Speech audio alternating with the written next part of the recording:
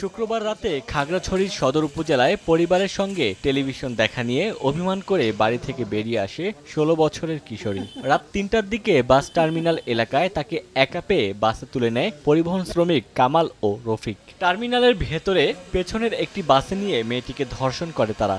পরে মেয়েটি বাড়িতে এসে পরিবারের সদস্যদের জানায়।